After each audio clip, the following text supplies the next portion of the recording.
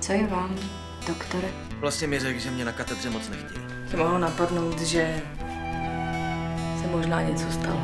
To je, že smrťák.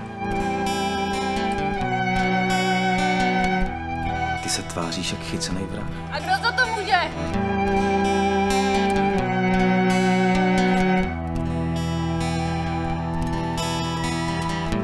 Jaj, ten.